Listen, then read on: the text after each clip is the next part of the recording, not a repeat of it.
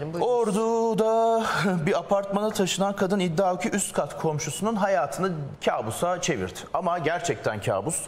Yüzlerce kez polis gelmiş kardeşim. Düşünsene. Evet çünkü şikayet vesaire öyle. Hatta ben köydeydim iki ay diyor. Hakkımda sürekli şikayetler olmuş diyor. Bir garip durum var bir görelim bakalım.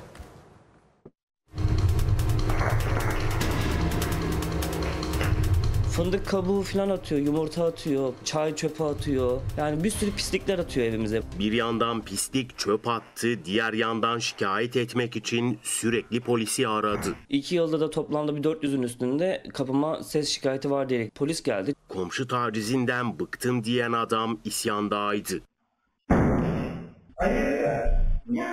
Binada çocuklarımı rahatsız ediyor, e, merdivende sıkıştırıyor. Ordu'da yaşayan zengin ailesinin alt katına iki yıl önce bir çift taşınmıştı. Durmadan ses şikayeti var diyerekten polisler arıyordu. Hatta biz 3 ay köydeyken bile gelmişler. Üç çocuk babası Samet Zengin 60 yaşındaki kadının eşiyle konuşsa da iddiaya göre faydası olmadı. Eşim rahatsız bundan kaynaklı yapıyor falan dedi. Alttan aldık idare ettik polisin gelip gitmelerini dert etmedik. Sonrasında kapıma pislikler gelmeye, yumurtalar, çöpler gelmeye başladı. O pisliklerin sonu gelmeyince kamera taktırdı. Eline ne geçerse mandalina kabuğu, taş, patates hiçbir şekilde zarar vermemize rağmen bizden uzaklaştırma kararı aldı. Evine misafir bile çağıramadığını söyleyen adamın tek isteği bir an önce huzura kavuşmaktı. Yaklaşık bir 10 defa e, adliyeye gittim başvurularda bulundum ama e, henüz sonuç elde edemedim maalesef.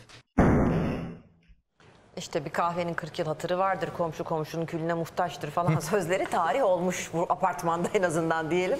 Hala var olan birbirini görünce merhaba diyen komşuluklar var mı? O da Var canım ya, olmaz da mı az. da burada bir sıkıntı şu ki yani kadınların psikolojik yani kadının belki psikolojik sıkıntısı Takmış var. oraya.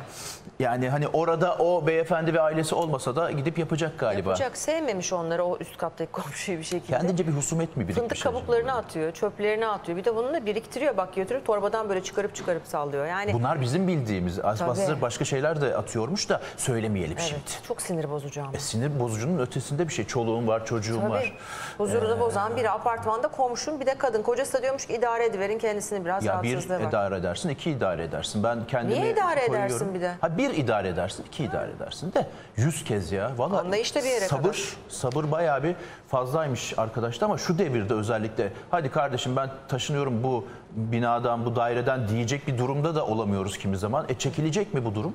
Yani belli işte bir rehabilitasyon süreci varsa Umarım, umarım. Ruh ve yani Sinir kimse Hastalıkları kimsenin- Hastanesi'nde bir tedavi süreci iyi olmaz mı? Umarım yazık çünkü ilerleyen yıllarında ne yapacak? Bugün o komşu, hani o komşu çekti gitti oradan. Yani bu kadının hayatı zor.